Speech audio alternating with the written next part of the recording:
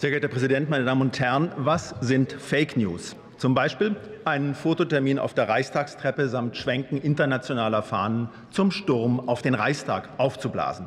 Was war es wirklich? O-Ton. Wir gehen da hoch und setzen uns friedlich auf die Treppe und zeigen Präsident Trump, dass wir den Weltfrieden wollen.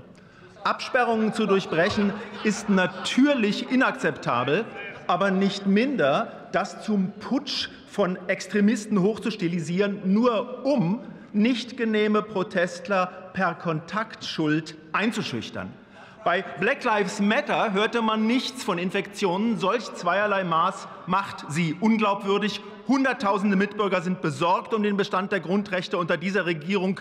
Diese Menschen, die sie als rechtsextrem diffamieren, die wollen nur ihr Leben zurück. Diese Fahne gibt nämlich nichts her. Schwarz-Weiß-Rot ist nicht mal eine Ordnungswidrigkeit. Bei der Treppe, die dann bleibt, da ist die künstliche Erregung eine ganz neu entdeckte Empfindlichkeit. 2010 stürmen hunderte Atomkraftgegner die Reichstagstreppe, die Polizei lässt sie gewähren. Diesen Juli stürmt Extinction Rebellion in den Reichstag, wirft Flugblätter, keine Reaktion. Tags darauf klettert Greenpeace auf den Reichstag, lässt sich abseilen, um ein Banner zu enthüllen. Alles eitel Wohlgefallen. Aber diese Treppen-Selfie-Truppe als Quasi-Putschisten, das ist doch Heuchelei vom Feinsten. Keiner versuchte gewaltsam ins Gebäude einzudringen, nicht eine Scheibe ging zu Bruch. Dieses Belügen der Bevölkerung muss ein Ende haben. Dieser Sturm auf den Reichstag war nur ein Sturm im Wasserglas. Aber es gibt eine sichere Methode, den Rechtsstaat zu zerstören, die alltägliche Straßengewalt gegen Recht und Ordnung zu bagatellisieren. Da wird die Ordnungsmacht des Staates bekämpft. In Stuttgart, Frankfurt, Leipzig. Jeder Flaschen- und Steinwurf geschieht mit bedingtem Tötungsvorsatz. Da wird der Staat in seiner Polizei diffamiert mit einer unangemessen herbeigezerrten Polizeiproblemdebatte. Das eine, die angebliche Bedrohung des Reichstags, totaler Fake. Das andere, das ist die tatsächliche Verachtung des Rechtsstaats mit angeheizt von Politik und Medien. Tagelanger Straßenkrieg in Leipzig, seit Jahren geduldet von der CDU. SPD-Vorsitzende Esken sieht sich an der Seite dieser antidemokratischen Faschisten, kurz Antifa auch vom Bundespräsidenten dort keine Einladung der Polizisten, die da für den Staat ihre Knochen hinhalten. Das ist ja auch der Bundespräsident, der eine gewaltverherrlichende Punkband empfiehlt mit O-Ton, die Bullenhelme sollen fliegen, eure Knüppel kriegt ihr in die Fresse rein. Nicht der Reichstag braucht einen Graben, sondern unsere Polizei, Schutz gegen Straßenterror und Medienhetze. Bei der Taz-Äußerung Polizisten auf den Abfall unter ihresgleichen, stand die Kanzlerin auf Seiten der Antipolizeihetzler. Strafen, Straftatenanzeigen kostet nämlich linke Stimmen, also lieber Hände weg. Das war Rückendeckung für die linken Schläger von Stuttgart und Frankfurt. Und das ist nur der linke Terror. In Berlin gerade wieder ein islamistischer Anschlag, wieder abgelehnter Asylbewerber, Rückführung ins Erstzutrittsland Finnland, Fehlanzeige. In den Irak auch nicht, obwohl der islamische Staat dort besiegt ist. Der will mit einem Wagen auf der Autobahn Leute totfahren, alles mit Allahu Akbar und Gebetsteppich. Ohne seriöse Prüfung wird er schnell in Richtung Klapse entsorgt, nur nicht auseinandersetzen mit dem Hintergrund, den gewalttätigen Überlegenheitsfantasien des koranischen Scharia-Islam. Salafisten und Muslimbruderschaft unterwandern Moscheen und Vereine. Und obwohl der Verfassungsschutz den größten Teilverband des Zentralrats der Muslime den rechtsextremistischen grauen Wölfen zurechnet, der Innenminister will weiter mit denen kuscheln. Verharmlosen ist wichtiger.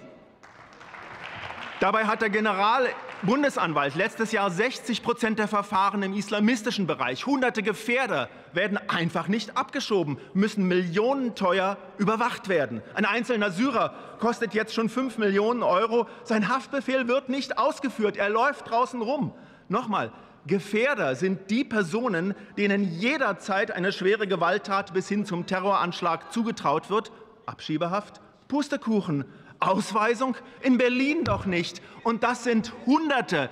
Diese Regierung gefährdet fahrlässig das Leben unserer Bürger, meine Damen und Herren. Was für eine Heuchelei. Ein paar Leute auf den Reichstagstreppen sind eine Staatskrise Aber drei Tage Bürgerkrieg gegen die Polizei sind diesen Regierenden kein Wort wert und hunderte Zeitbomben auf den Straßen, die lässt man einfach rumlaufen. Aber Menschen, die statt überzogener Maulkorbedikte faktenbasierte Maßnahmen mit Augenmaß wollen, die sollen kriminalisiert werden. Nein, meine Damen und Herren, eine Regierung, die ihre Kritiker zu Staatsfeinden erklärt, die ist selbst eine Gefahr für die Demokratie.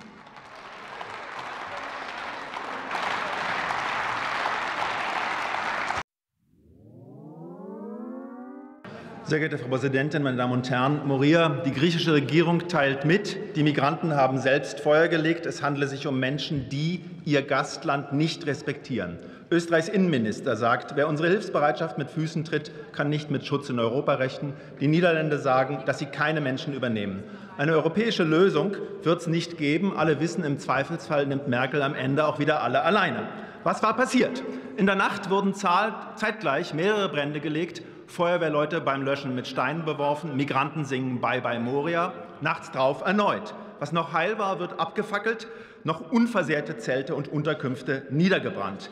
Dieselbe infame Strategie wie bei den Bootsbetrügern vor Libyen. Man macht sich hilflos, um daraus Ansprüche zu erpressen. Was für eine unverschämte Anspruchshaltung. Alles seit September 15. Die Linke gibt den Wirtschaftsmigranten und Asylbehauptern die Losung vor, wenn dir die erste geschenkte Hütte nicht mehr zusagt, fackelt sie ab, dann müssen sie dir was Besseres geben. Wollen wir wirklich Leute hier haben, die nächtlich Feuer legen, Rettungskräfte angreifen, noch Häuser der Inselbewohner abfackeln? Die St. Georg-Kirche auf Lesbos wurde komplett verwüstet, Inventar zerstört, Heiligen-Ikonen verbrannt. Vor einem Jahr legten Migranten ein Feuer, in dem eine Frau und ein Kind starben. Diese Klientel will die Linke hier im Lande und wirbt die Feuerteufel von Moria, bald auch in ihrer Nachbarschaft. Die deutschen Bürger lehnen dankend ab, meine Damen und Herren. Warum sollte Deutschland Wirtschaftsmigranten und Erpresser auch noch belohnen mit Sozialhilfe und Luxusunterkünften? Hilfe ist vor Ort zu leisten, das heißt nicht auf griechischen Inseln, sondern in den Heimatregionen. Dorthin ist zu evakuieren. Die Reise nach Deutschland gäbe einen Nachzugseffekt, ein Fass ohne Boden. Und nur eine Frage der Zeit, bis weitere Lager brennen. Soll das Schule machen? Und wenn sie dann hier sind, werden dann wieder Asylheime angesteckt, um luxuriösere Unterkünfte zu erzwingen? So wie 2016 ein Marokkaner in Düsseldorf sein Flüchtlingsheim abfackelte, weil er keinen Schokopudding bekam. Eine Schande, dass es keinen Schokopudding gab. Die sind zu 70 Prozent aus Afghanistan.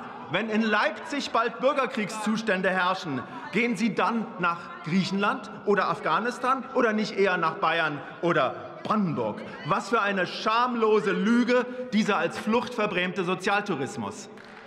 Was hier Not tut, ist konsequent Grenzen schützen, Migranten abweisen, illegale abschieben. Dann kommen keine mehr, keine überfüllten Lager, keine Brände, keine Mittelmeertoten. Und mit den eingesparten Milliarden kann man hundertmal mehr vor Ort helfen. Das wäre wahre Humanität. Aber wer jetzt wieder Asylbehaupter importieren will, kann Kanzler. Ein Überbietungswettbewerb. Eben noch, wer ist der härteste Corona-Sheriff? Jetzt, wer holt mehr Sozialhilfeempfänger? Laschet 1000, Röttgen 5000, fehlen noch März 10.000, Söder ganz Afrika. Plant er das von Neuschwanstein aus zu verkünden? Nein, meine Damen und Herren, dieselben Leute, die wir haben Platz skandieren, beschweren sich über Mietexplosionen in den Städten, zu wenig Kitaplätze, schicken ihre Kinder auf teure Privatschulen ohne Migranten. Und wo haben wir Platz? Berlins Grüne meinen in Hotels. Während arbeitende Deutsche keine bezahlbare Wohnung mehr finden, werden von ihrem Steuergeld Wohnungen für illegale Scheinflüchtlinge finanziert, mit Mieten oft über 100 Prozent über den ortsüblichen. Aber dass genug Platz in Deutschland sei, das wird ja schon zweifelsfrei durch Stühle vorm Reichstag bewiesen. Erst die Stühle, dann das Feuerwerk. Die geistigen Brandstifter sitzen hier in Deutschland. Was für eine peinliche choreografierte Show, diese konzertierte Aktion. Für wie dumm halten die Umsiedlungsfanatiker den Wähler eigentlich? Nein, meine Damen und Herren, Deutschland ist keine weltweite Hilfsorganisation mit lediglich angehängter Steuersklavenbevölkerung Aufgabe der Regierung ist es, die Interessen des Volkes zu vertreten, des deutschen Volkes. Da haben Sie in der von Ihnen verursachten Lockdown-Krise jetzt wahrlich genug zu tun.